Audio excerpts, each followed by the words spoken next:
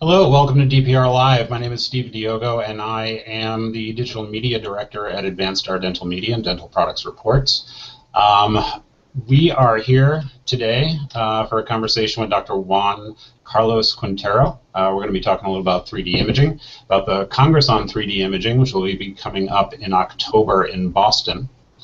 Um, so Dr. Juan Carlos Quintero is an orthodontist in South Miami, Florida. He's immediate past president of South Florida Academy of Orthodontists and a former president of the American Association for Dental Research. Dr. Quintero has won numerous national research competitions, has published extensively in peer-reviewed journals and lectures frequently, nationally and internationally. During the 7th International Congress on 3D Imaging, which will take place October 25th and 26th in Boston, Dr. Quintero will lead a breakout session called Freaky Threes, the Management of Difficult Impacted Canines. The Congress itself uh, is an event that provides a unique opportunity for current 3D users and those considering 3D technology to learn from experts and colleagues through lectures and demonstrations on real 3D applications in dentistry. The event is sponsored by i-CAT and Henry Schein Dental and will offer 11 CE credits.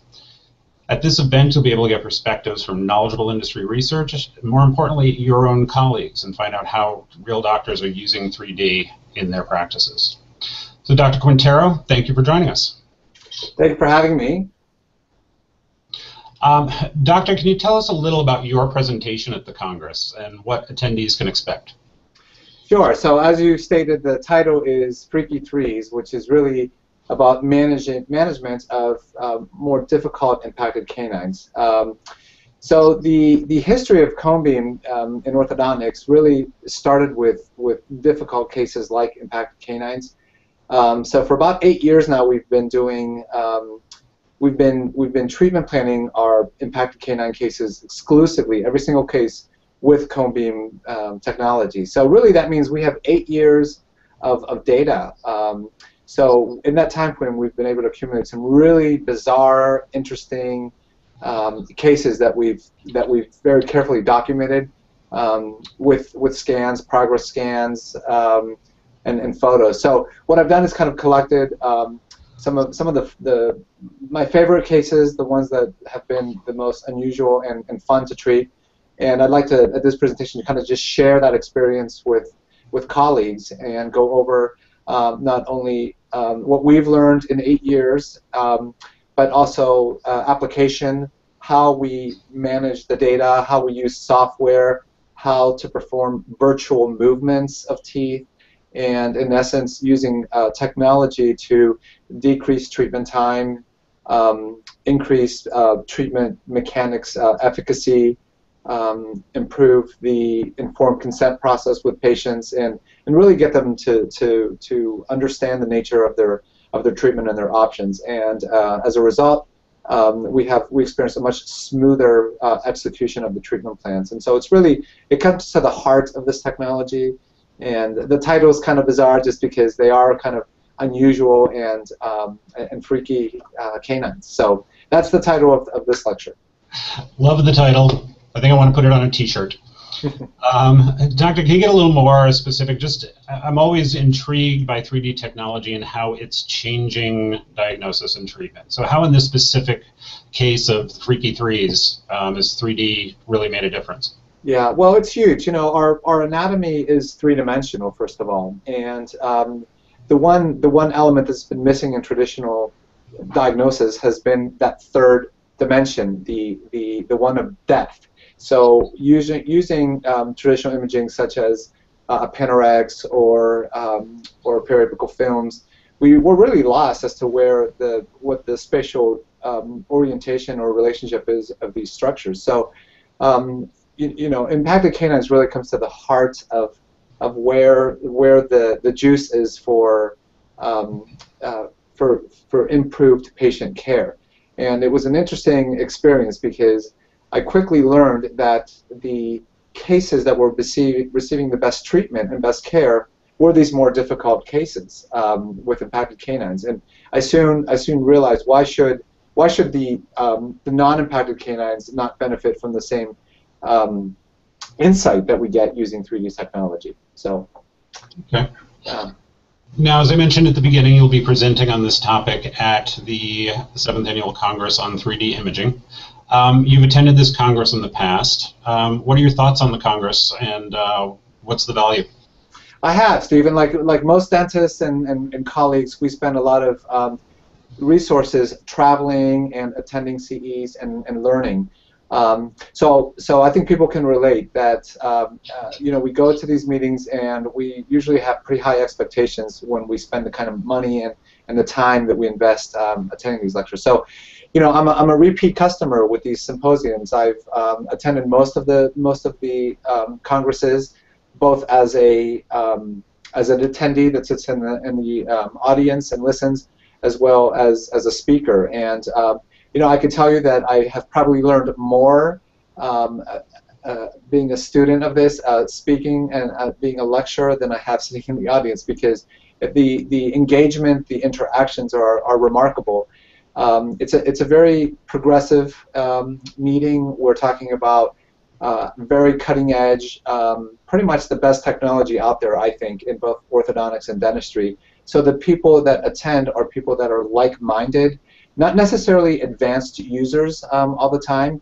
We um, have um, relationships there with novices, people that are just getting into cone beam, maybe thinking about getting into cone beam. They're on the fence. They want to learn more about it. To to very advanced speakers. I mean, there, you could be sitting next to one person that's completely um, new to this on, on one side, and then on your left side you could have uh, somebody who's written books and, and, and, articles on the subject. So it's a really wide variety of people. Uh, it's a two-day experience. Um, it's filled with lectures and, and, live demos using real 3D imaging applications. Uh, as you said, it's sponsored by i-CAT and Henry Schein. So there are there are plenty of vendors. Um, there are staff if you want to bring staff. Um, there's a lot of uh, mingling. Um, some of the best learning takes place uh, in between the sessions during the social events. Um, so there's general sessions, and then there's breakout sessions, and the topics really range from implant dentistry to oral surgery to orthodontics um, to airway um, evaluations. And what I love about this uh, this congress is they always seem to have at least two or three lectures from oral and maxillofacial radiologists, which is um, it's a very important subject if you're going to be using cone. So it's it's a very all-inclusive uh, symposium, really. I'm always fascinated at dental events like this. That it, that it is the, the energy that comes out of dentists getting together and getting it, excuse me, being able to share their experiences and uh, what they've learned. Um, I think it's it's obviously most dentists are, are alone in their practices, and this is a, a great way for them to get together. Definitely, definitely. You know, and it's always it's always uh, so much easier to be forthcoming with information when you're talking to somebody who's not in your competitive neighborhood, right? And so, you know, you could be talking from people to in Alaska, California, Maine, uh, Texas, and they could be a specialist, they could be a general dentist.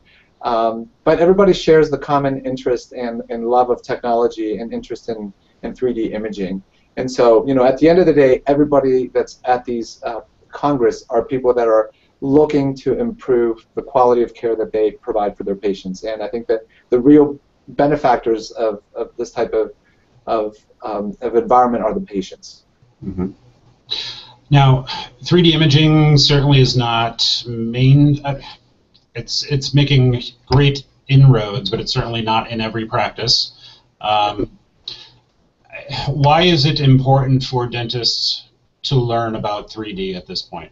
Great question, and the simple reason is because there's no stopping technology.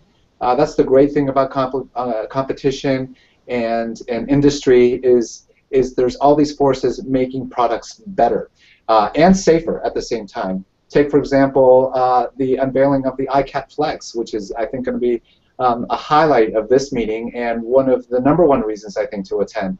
Um, I think this i-CAT FLX is going to be a game changer.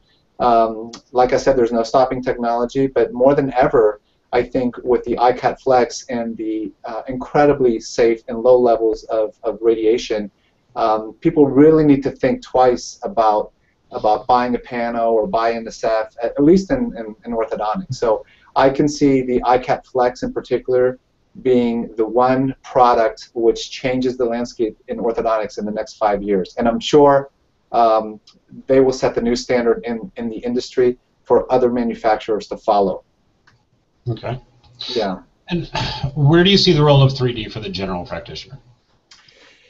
Well, I think as, as time goes, um, the, the, the truth shall be known. And the nature of our anatomy is 3D, and patients are, um, are, are informed patients, and 3D is in the air. It's, it's in it's in the movies. It's in it's in the TVs. It's in the food that we eat, the water that we drink.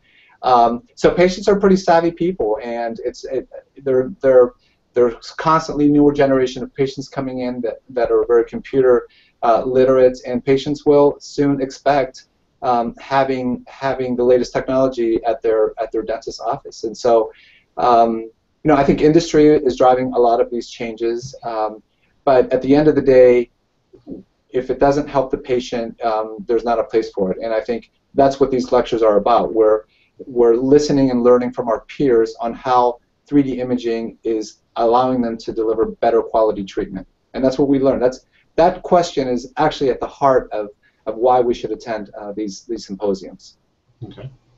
Well, I know dentist patients today are certainly better educated. They know much more about what good, what the outcome of good dentistry looks like. I think they also know much more about what a good, well-equipped dental practice looks like and what the delivery of quality dentistry looks like. So, I find it exciting to see the adoption of technologies like this. Yeah. Yes, and you know the nature of this technology too is very, uh, you know, it's very visual.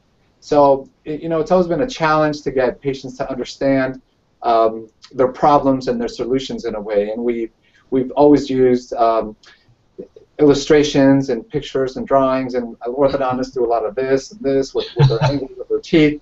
Um, but it's absolutely amazing and remarkable when you sit down and review a 3D volume rendering to a patient um, you know, they say they say uh, a picture is worth a thousand words. Well, you know, a cone beam scan and, a 3D replica of their anatomy is probably worth a billion words, and and patients just get it because because of the nature of it is so visual. Right. Well, Dr. Quintero, thank you so much for joining us today. Um, is there anything else you'd like to add? I hope to see a lot of you there, and you better hurry up and sign up fast because I'm sure this is going to sell out. And I believe if people stay tuned, they're going to be receiving a code that will give them, um, I think, like $250 off admissions price. So uh, hurry up and sign up, get your reservations, and we'll see you there. Thank you, Steve. Fantastic. Well, remember, Dr. Quintero will lead a breakout session at the 7th Annual Congress on 3D Imaging, which will be held October 25th and 26th in Boston. You can register for that event by going online to www.icat.com. That's the letter I dash cat.com. And here's that special code we were talking about. If you enter the promotional code Hangout250, Hangout250, you'll receive $250 off the admission price. So I will be there. Dr. Quintero will be there. I hope to see many of you there. Uh, thanks so much for joining us.